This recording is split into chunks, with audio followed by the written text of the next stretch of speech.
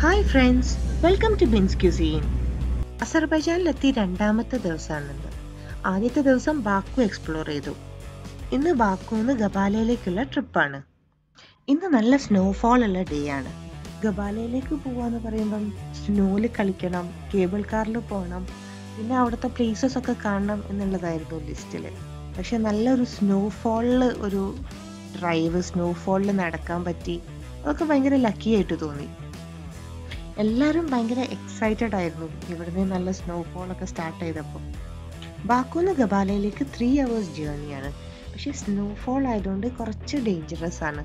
അതുകൊണ്ട് തന്നെ കുറച്ച് ടൈം എടുക്കുമെന്ന് പറഞ്ഞിരുന്നു. ബാക്കു സിറ്റിയിലൂടെയാണ് നമ്മളിപ്പോൾ പോകുന്നത്. സ്നോഫോളിൽ ബാക്കു സിറ്റി ഒന്നുകൂടി ഭംഗിയുണ്ട് കാണാൻ. റോഡൊക്കെ എപ്പോഴും നല്ല നീറ്റ് ആൻഡ് ക്ലീൻ ആണ്. ഇവിടുത്തെ സ്ട്രീറ്റിലൂടെ നടക്കാൻ നല്ല രസമാണ്.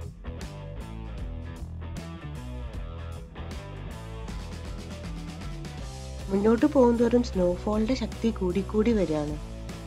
ഞാൻ വിൻഡോ ഓപ്പൺ ചെയ്ത് കാണിക്കാം. അപ്പം നിങ്ങൾക്ക് മനസ്സിലാവും എത്ര ഹെവി സ്നോഫോളാണ് ഇപ്പം ഉള്ളത്. ബസ് നല്ല സ്പേഷ്യസ് ആയിരുന്നു. അത് ശരിക്കും ഒരു സൗകര്യമായി. എല്ലാവരും ഓരോ സീറ്റിലാണ് ഇരുന്നത്. ലാസ്റ്റ് സീറ്റ് ശരിക്കും കാലിയായിട്ട് ഇട്ടിരിക്കുകയായിരുന്നു. ഭക്ഷണം കഴിക്കാൻ ഒരു ചെറിയ ടേബിളും ഉണ്ടായിരുന്നു. എല്ലാ സൗകര്യങ്ങളും ഉള്ളൊരു ബസ്സായിരുന്നു അപ്പം എല്ലാവരും ഈ ട്രിപ്പ് ശരിക്കും എൻജോയ് ചെയ്യാണ്. ബാക്കൂന്ന് ഞങ്ങൾ ചെക്കൗട്ട് ചെയ്തിട്ടാണ് ഗബാലയിലേക്ക് പോകുന്നത്. അപ്പോൾ ഞങ്ങളുടെ ഫുള്ള് ലഗേജും ഉണ്ട്. ട്രിപ്പ് പോകുമ്പോൾ കൂടുതൽ മെമ്പേഴ്സ് ഉണ്ടാകുമ്പോൾ നമുക്ക് കൂടുതൽ എൻജോയ്മെന്റ് ആയിരിക്കും. പ്രത്യേകിച്ച് ഇതുപോലെ ഫുൾ ഫാമിലി ഒക്കെ ആകുമ്പോൾ ബാക്കുവിന്റെ സിറ്റി ഏരിയ ഒക്കെ കഴിഞ്ഞു. ഇനി ഞങ്ങൾ ഗബാലേക്കുള്ള ഹൈവേയിലേക്ക് കയറുകയാണ് ഹൈവേയിലേക്ക് കയറിയിട്ടുണ്ടെങ്കിൽ പിന്നെ നമുക്ക് സ്നാക്സോ ജ്യൂസോ ഒന്നും വാങ്ങിക്കാനുള്ള ഓപ്ഷൻ ഒന്നുമില്ല. ഷോപ്പ് ഒന്നും അവൈലബിൾ അല്ല. അപ്പോൾ ഡ്രൈവർ നേരത്തെ ചോദിച്ചിരുന്നു എന്തെങ്കിലും വാങ്ങിക്കാനുണ്ടെങ്കിൽ പാർക്കിൽ തന്നെ എല്ലാം വാങ്ങിച്ചിട്ട് നമുക്ക് ഹൈ ഗബാലയിലേക്ക് പോകുന്നതായിരിക്കും നല്ലതെന്ന്. നേരത്തെയും ഡ്രൈവർ ഇത് സൂചിപ്പിച്ചിരുന്നു. അപ്പോൾ അതുകൊണ്ട് ഞങ്ങൾ ബാക്കും തന്നെ എല്ലാം വാങ്ങി ഫുള്ള് സ്റ്റോർ ചെയ്ത് വെച്ചിട്ടുണ്ടായിരുന്നു. ഫസ്റ്റ് ടൈം സ്നോ കണ്ടു തുടങ്ങിയതിന്റെ ആവേശമായിരുന്നു എല്ലാവർക്കും. എല്ലാവരും ഭയങ്കര ആക്റ്റീവായി ചേച്ചു പാട്ടൊക്കെ പാടാൻ തുടങ്ങി.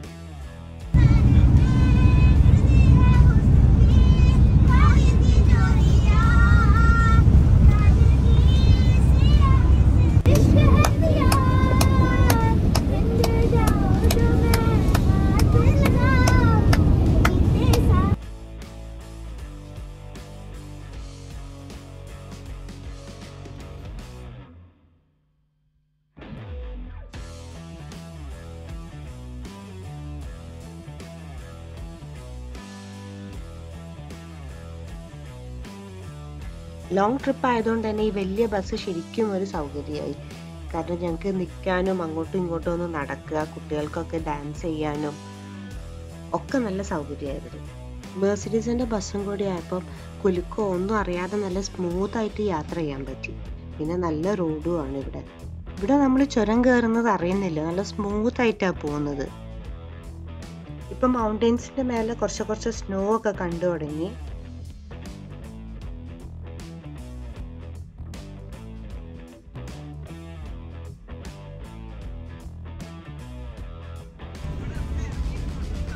റോഡിൽ ഐസ് കട്ടായിട്ട് കിടക്കുന്നുണ്ട്. നമ്മൾ ഈ ഐസിലൂടെ ഇങ്ങനെ പോകുമ്പോഴാണ് വണ്ടി സ്ലിപ്പ് ആവാൻ കൂടുതൽ ചാൻസ് ഉള്ളത്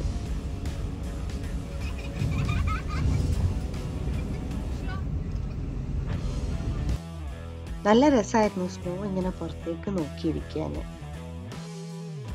ബാക്കൂന്ന് ഗബാലയിലേക്ക് ടു ട്വന്റി കിലോമീറ്റർ ആണ്. നോർമലി ഒരു three hour forty five minutes ഡ്രൈവാണുള്ളത് റോഡിലൊക്കെ ഐസ് ഉള്ളതുകൊണ്ട് തന്നെ ഡ്രൈവർ വളരെ സേഫ് ആയിട്ടാണ് വണ്ടി ഡ്രൈവ് ചെയ്തത്. അതുകൊണ്ട് തന്നെ ഞങ്ങൾ കുറച്ച് ടൈം എടുത്തിട്ടാണ് ഗബാല എത്തിയത്. റോഡിൽ നേരത്തെ നിങ്ങൾ കണ്ടല്ലോ ഐസൊക്കെ ആയിട്ട്. എല്ലാവരും ഭയങ്കര എൻജോയ്മെന്റിലാണ് സ്നോ ഒക്കെ കണ്ടതിന്റെ ഭയങ്കര ഹാപ്പിനെസ്സിലായിരുന്നു ആദ്യം കണ്ട ഏരിയയിലുള്ളതിനേക്കാളും സ്നോ ഇപ്പോൾ ഇങ്ങനെ കൂടുതലാണ്.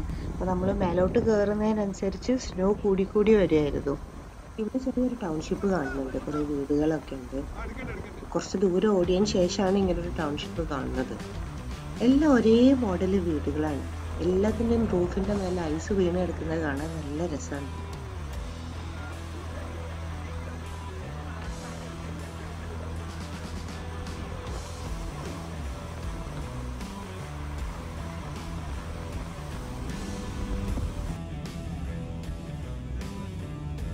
മുന്നോട്ട് പോകും തോറും സ്നോ കൂടുതലായിട്ട് ഇങ്ങനെ വരുന്നുണ്ടായിരുന്നു. അപ്പോഴൊക്കെ ഞങ്ങൾ ഗൈഡിനോട് പറയുന്നുണ്ട് എവിടെയെങ്കിലും ഒന്ന് സൈഡാക്കാനും ഞങ്ങൾക്ക് കുറച്ച് സ്നോയിലൊന്ന് കളിക്കാനാണ് എന്നൊക്കെ.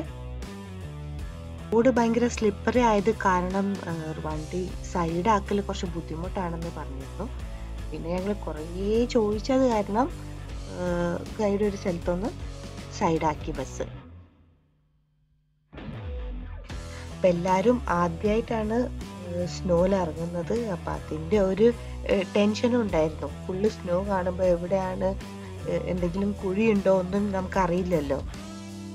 അപ്പം നന്നായിട്ട് കെയർ ചെയ്തിട്ടുണ്ട്. പിന്നെ ഞങ്ങൾ നന്നായിട്ട് എൻജോയ് ചെയ്തു. അങ്ങോട്ടും ഇങ്ങോട്ടും മഞ്ഞൊക്കെ എടുത്ത് എറിഞ്ഞും കളിച്ചും ഒക്കെ നന്നായിട്ട് എൻജോയ് ചെയ്തു. ഞങ്ങൾ അവിടെ ഇറങ്ങിയപ്പോൾ ആരും അങ്ങനെ ചവിട്ടാത്ത ഒരു സ്നോ ആയിരുന്നു. നല്ല ഫ്രഷ് ആയിട്ടുള്ള സ്നോ ആയിരുന്നു. അപ്പം ഇതിന്റെ മുന്നേ ആരും അവിടെ ഇറങ്ങിയിട്ടൊന്നും ഉണ്ടായിരുന്നില്ല.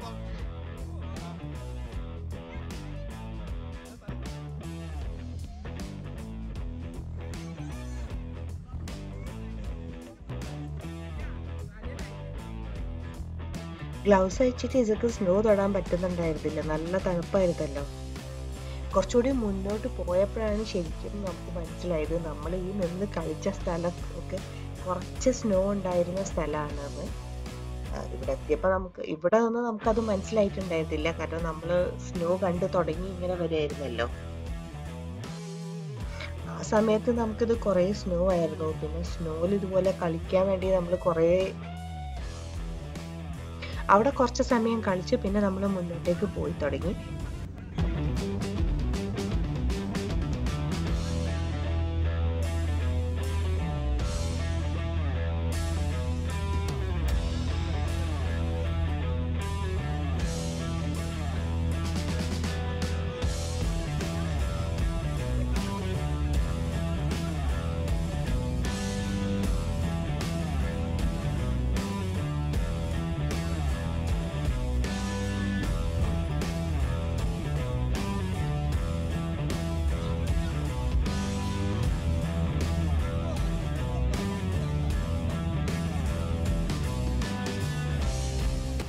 ഇപ്പൊ റോഡ് സൈഡൊക്കെ ഫുള്ള് സ്നോ ആണ്. റോഡിൽ പിന്നെ സ്നോ എപ്പോഴും ഇങ്ങനെ ക്ലിയർ ചെയ്തുകൊണ്ടിരിക്കുന്നുണ്ട് ഇപ്പൊ ഈ ഒരു വണ്ടി കണ്ടില്ലേ? ഇതുപോലെ എല്ലാ സ്ഥലത്തും ഇങ്ങനെ സ്നോ ക്ലിയർ ചെയ്തുകൊണ്ടിരിക്കുകയാണ് റോട്ടിൽ നിന്ന് ഹെവി സ്നോഫോൾ ആയതുകൊണ്ട് തന്നെ റോഡൊക്കെ കാലിയാണ്. അധികം വെഹിക്കിൾസ് ഒന്നും ഇല്ല റോട്ടിൽ ഇല്ല മഴയുള്ള ദിവസം ഓറഞ്ച് അലേർട്ടും റെഡ് അലേർട്ടും ഒക്കെ ഇല്ല. അതുപോലത്തെ ഒരു ദിവസമായിരുന്നു അന്ന്. അപ്പൊ ഗബാൽ എത്താറായി. ഓൺ ദ വേ നമ്മൾ ഹണി ഷോപ്പിൽ കയറുന്നുണ്ട് ഇപ്പൊ റോഡ് സൈഡിലൊക്കെ നല്ല കുന്നുപോലെ സ്നോ ആയിട്ടുണ്ട്. റോഡിലൊക്കെ ഐസ് ഉള്ളതുകൊണ്ട് വളരെ അധികം സ്ലിപ്പറി ആയിരുന്നു റോഡ് ചില സമയം ബസ് മുന്നോട്ടേക്ക് വലിയാത്ത പോലായിരുന്നു ഭയങ്കര ബുദ്ധിമുട്ടായിരുന്നു. അപ്പോഴാണ് ഞങ്ങൾക്കും ചെറിയൊരു പേടിയൊക്കെ വന്നത്. അതുവരെ അതിന്റെ ഒരു എഫക്റ്റ് ഞങ്ങൾ അറിഞ്ഞിട്ടുണ്ടായിരുന്നില്ല ഏരിയയിലൊക്കെ നല്ല സ്ലിപ്പറി റോഡായതുകൊണ്ട് തന്നെ ആക്സിഡൻസ് ഉണ്ടായിരുന്നു. അപ്പോൾ അവിടെയൊക്കെ നമ്മൾ കുറച്ച് ബ്ലോക്കിൽ പെട്ടു. മുന്നോട്ട് പോകുന്തോറും ചെറിയൊരു ടെൻഷനൊക്കെ വരാൻ തുടങ്ങി. നമ്മൾ മൂവിയിലൊക്കെ കാണുന്ന പോലെ അവിടെ ഒരു ട്രെയിലറിൽ ഫുള്ള് സ്നോ ട്രീസിന്റെ മേലൊക്കെ ഫുള്ള് സ്നോ ആണ്. വീടിന്റെ ആ റൂഫിന്റെ ടോപ്പിലില്ലേ അവിടെയും എല്ലാം ഇങ്ങനെ ഒരു മൂവി കാണുന്ന ഫീലായിരുന്നു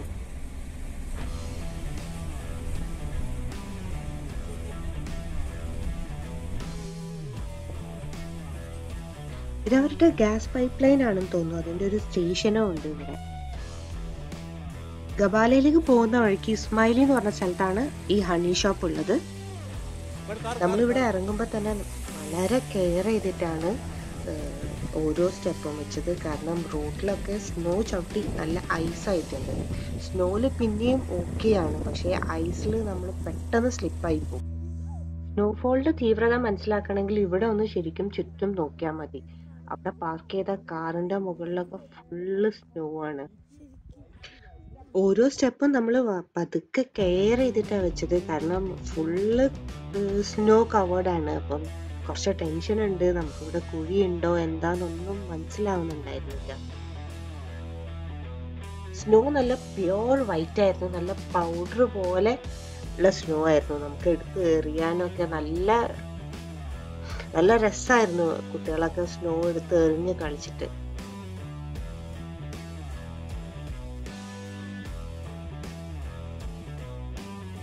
നമ്മൾ മുന്നോട്ട് നടക്കുമ്പം ഓരോ സ്റ്റെപ്പ് വെക്കുമ്പോഴും കാൽ ഉള്ളിൽ പോവാണ്.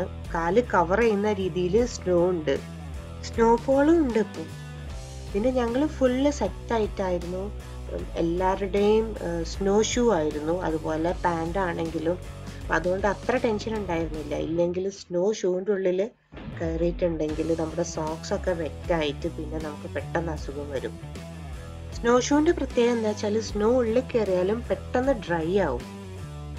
അതുകൊണ്ട് നമ്മൾ ഇങ്ങനെ ഒരു സ്നോയിൽ നടന്നിട്ടും നമുക്ക് ഒരു വെറ്റ് ഫീലോ കാലിൽ അങ്ങനെ ഒരു ഫീലോ ഉണ്ടായിരുന്നില്ല.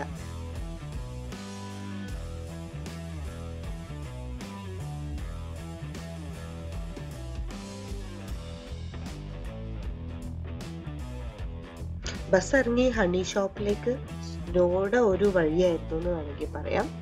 അങ്ങനെ ഞങ്ങൾ ഹണി ഷോപ്പിലെത്തി ഇവിടെ നല്ല പ്യോർ ഹണി കിട്ടുമെന്നാണ് പറയുന്നത്. ഇത് സാഫ്രോൺ ഹണിയാണ് കുട്ടികൾക്കൊക്കെ വളരെ നല്ലതാണെന്നാണ് പറയുന്നത്. അവർ പറയുന്നത് ഈ ഹണിയുടെ നാച്ചുറൽ കളറാണിത് അല്ലാതെ അവർ സാഫ്രോൺ ആഡ് ചെയ്തിട്ട് ഉള്ള കളറല്ല ഇത്.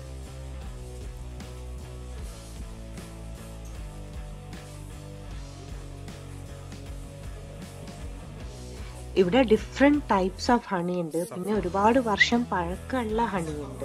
ഫൈവ് ഇയേഴ്സ് ടെൻ ഇയേഴ്സ് ഒക്കെ പഴക്കമുള്ള ഹണി ഉണ്ട്. പിന്നെ ഒരുപാട് ഡ്രൈഡ് ഫ്ലവേഴ്സ് ഡ്രൈ ഫ്രൂട്ട്സ് എല്ലാം അവൈലബിൾ ആയിരുന്നു. ഡിഫറെന്റ് ടൈപ്പ് ഓഫ് ടീ ഉണ്ട്. അവർ ഞങ്ങൾക്ക് ഓരോന്നും എന്താണെന്ന് എക്സ്പ്ലെയിൻ ചെയ്തു തന്നു.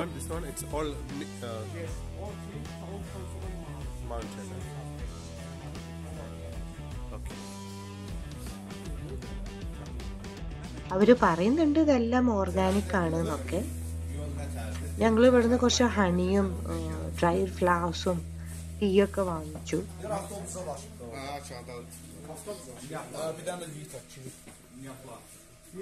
ഇത് മൗണ്ടൻ ഹണിയാണെന്നാണ് പറയുന്നത്. ഇതിൽ ബീ വാക്സും ഉണ്ട്. അവിടെ എഴുതിയത് if you want to stay young eat mountain honey എന്നാണ്. അപ്പൊ ഇത് കഴിച്ചാൽ യങ് ആവും എന്നാണ് അവർ പറയുന്നത്. പിന്നെ അവിടെ സ്വീറ്റ്സ് ഉണ്ടായിരുന്നു baklava different types of baklava പോലത്തെയും.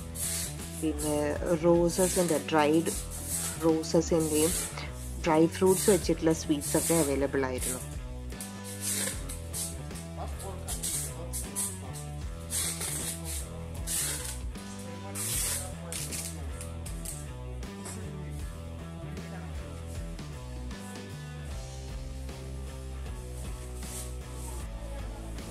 This is very strong. This one. Very strong. For cup for stomach. Cup for stomach. Eh? Yes. For babies, this one.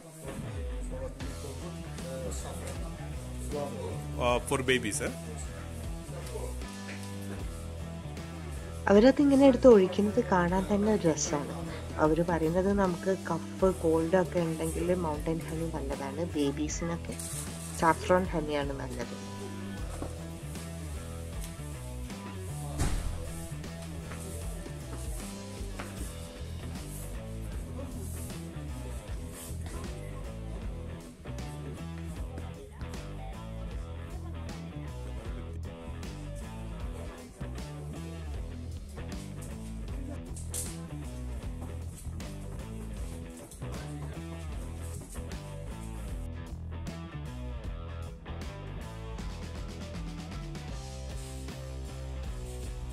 അവിടെയുള്ള ഡിഫറെന്റ് ടൈപ്പ് ഓഫ് ടീന്റെ പേരുകളും അവിടെ എഴുതിയിട്ടുണ്ട്. Chocolate bases coffee seven beauty detox tea lavender jasmine tea lemon and orange tea saffron flower tea pomegranate tea അങ്ങനെ ഒരുപാട് varieties ഉണ്ട്. Fruit tea rose tea fifteen flowers mix പിന്നെ Laila Majnu tea ഉണ്ട് അവിടെ.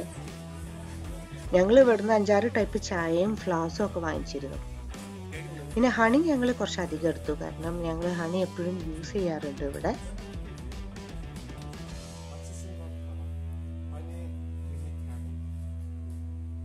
How many years this one old?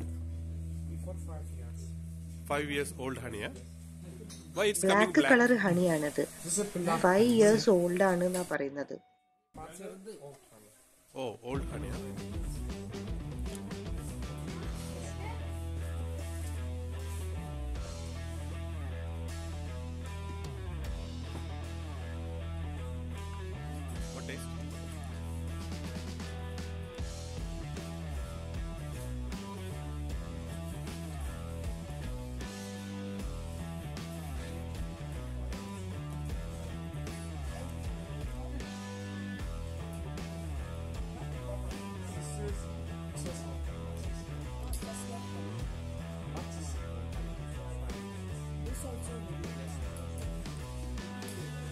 ഞങ്ങൾ അവിടുന്ന് കുറച്ച് sweets കൂടി വാങ്ങിച്ചു. അപ്പോൾ ഇത് അവർ ഞങ്ങൾക്ക് വേണ്ടിയാണ് പാക്ക് ചെയ്യുന്നത്. ഞങ്ങൾ അത്യാവശ്യം നല്ല എമൗണ്ടിൽ തന്നെ ഇവിടുന്ന് ഷോപ്പ് ചെയ്തിട്ടുണ്ട്. ഹണിയും ഡ്രൈഡ് ഫ്ലാസും പിന്നെ ഇതുപോലെ സ്വീറ്റ്സും ഇത് ബീം മിൽക്ക് അവരൊരു പ്രത്യേക ഫ്രിഡ്ജ് എന്നാണ് അത് എടുക്കുന്നത്. ഒരു. ചെറിയ സിറിഞ്ചിലാക്കിയിട്ടാണ് അവർ വെച്ചത്. അവരത് എക്സ്പ്ലെയിൻ ചെയ്യാൻ ശ്രമിക്കുന്നുണ്ട്. പക്ഷെ ഞങ്ങൾക്കൊന്നും മനസ്സിലാവുന്നുണ്ടായിരുന്നില്ല. Choice of- This pure milk. Okay. This inside the flower dust, mountain honey. Inside this, this flower dust, Yeah. mountain honey, flower honey, forest. Okay. All these imagine mostly proteins for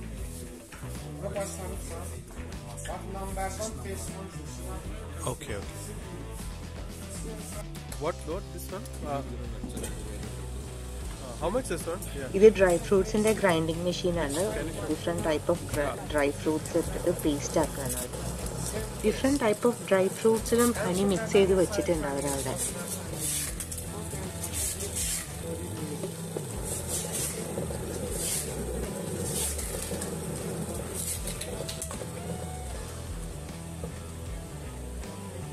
ഞങ്ങളുടെ shopping ഒക്കെ കഴിഞ്ഞ് ഞങ്ങൾ പുറത്തേക്ക് ഇറങ്ങുകയാണ്. തിരിച്ച് ഞങ്ങൾ സ്നോയിലേക്ക് ഇറങ്ങുകയാണ്. അപ്പോൾ ഇവിടെയുള്ള ചെടിച്ചട്ടിയിൽ പോലും എന്താണ് സ്നോ ഫുള്ളായിട്ട് ഇരിക്കുകയാണ്